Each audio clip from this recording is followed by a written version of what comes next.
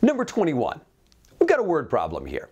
Let's take a look. Emil's Bakery sells three sizes of coffee. Small, medium, large. Weird they don't have any venti, but let's move on.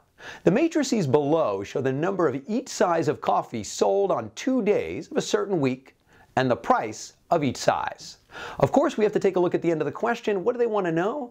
What is the total cost of all the coffee sold over these two days? Now, matrices can seem scary, but in reality, they're just ways to group numbers. We need to be able to make sure that we're combining the pieces together. Let's take a look at Monday first.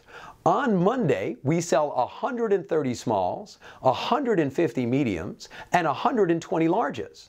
Well, we also know the price of the small, the medium, and the large. So we have 130 smalls, that's times $3 each.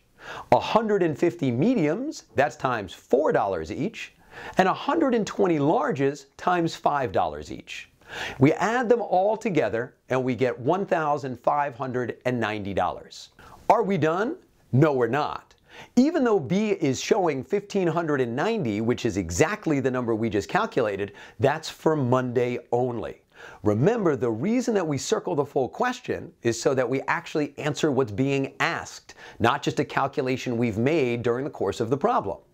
The question asked for two days, not one. So we've got to take a look at Tuesday also. On Tuesday, we see small, medium, and large again, 90, 100, and 70. We have to multiply that by the prices for the small, the medium, and the large. And what do we get? Another $1,020. Notice here that A says 1,020. If you chose A, it's because you only calculated Tuesday. If you chose B, it's because you only calculated Monday. But if we have all of our work shown and we compare it to what the question asks, we should be putting those two numbers together and getting $2,610, which is answer choice D.